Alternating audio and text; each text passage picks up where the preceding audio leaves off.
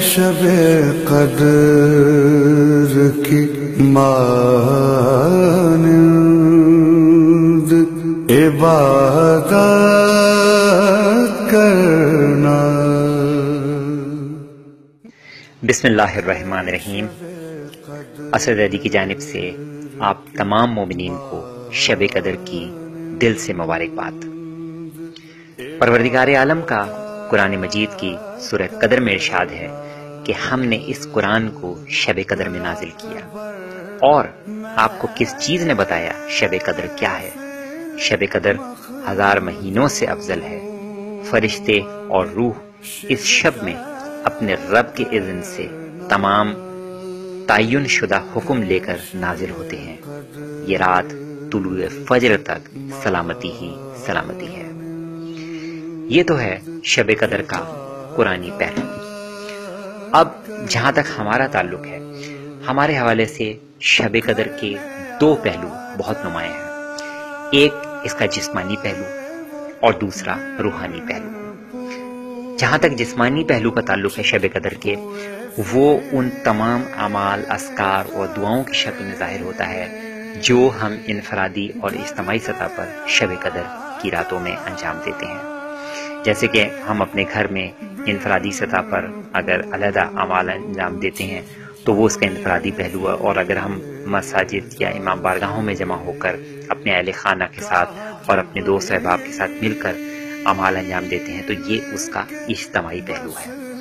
تو یہ تو وہ جسمانی پہلو ہیں شب قدر کے، جو کہ ہم سے انفرادی اور اجتماعی سطح پر اپنے گھر یا مساجد، امام بارگاہوں میں اعمال، دعاؤں اسکار قرآن مجید کی تلاوت اور دیگر جو دعائیں رسول خدا اور احمد تحرین نے تعلیم کی ہیں شب قدر کی مناسبت سے، ان کو ہم جس وقت پڑھتے ہیں تو یہ شب قدر کا جسمانی پہلو ہے، جو کہ ظاہری پہلو ہے۔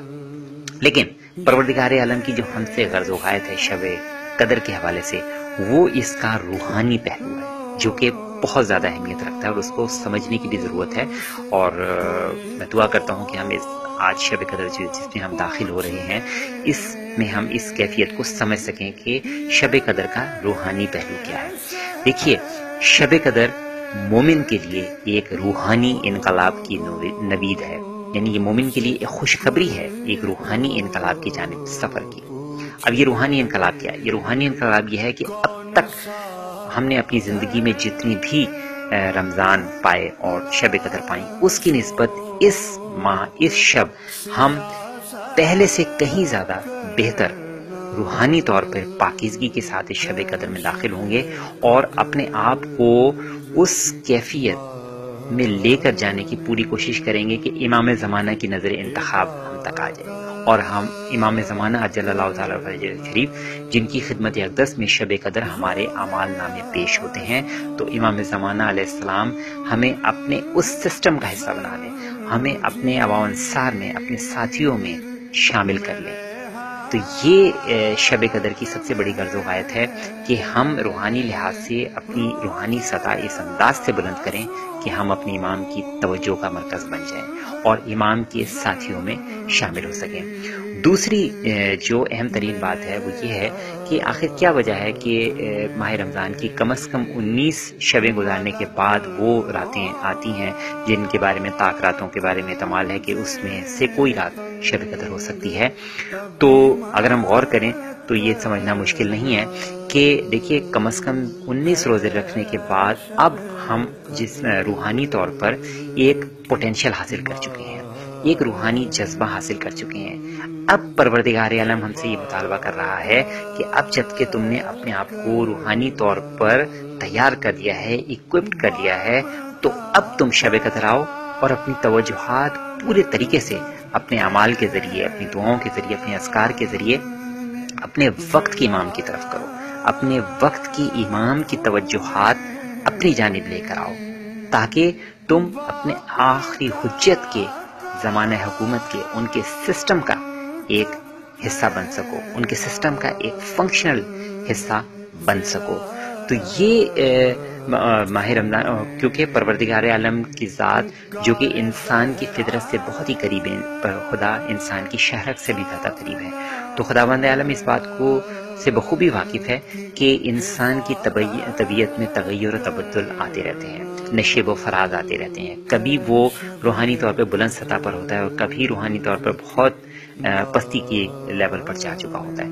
تو یہ جو شب قدر کی راتیں ہیں اور خاص طور پہ جو شب قدر کی وہ رات جس کے بارے میں سب سے زیادہ احتمال ہے، وہ تیئیسویں کی شب ہے، جس میں ہم اس وقت داخل ہو چکے ہیں۔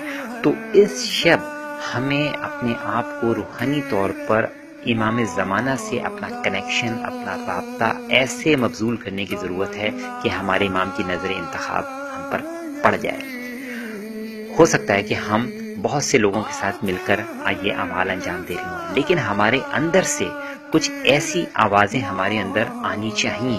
ہمارے اندر کچھ ایسی صدائیں آنی چاہیے جو ہمیں یہ احساس دلائیں کہ یقیناً کچھ کمی باقی ہے۔ کچھ کمی باقی ہے، کچھ مزید ایسا پیدا کر لو اپنے اندر، کچھ اپنے اندر ایسی کیفیت پیدا کر لو کہ امام تم کو اپنے انصار میں شامل کر لیں اپنے ساتھیوں میں شامل کر لیں تو یہ شب قدر کے حوالے سے میں اس وقت آپ تمام حضرات کی خدمت میں اور تمام اہل اسلام اور تمام مومنین کی خدمت میں یہ پیغام پیش کر رہا ہوں کہ اس شب اعمال انجام دیتے وقت اپنی جو باطنی نگاہ ہے، اس کو روشن رکھیں۔ اس کو زیادہ ابھارنے کی کوشش کریں۔ ظاہری پہلو جو شب قدر کے ہیں، جس وقت ہم اس کو انجام دے رہے ہوں، اس وقت ہم اپنی روحانی جو حواس ہیں، اس کو ہم پہلے سے کہیں زیادہ بیدار کریں۔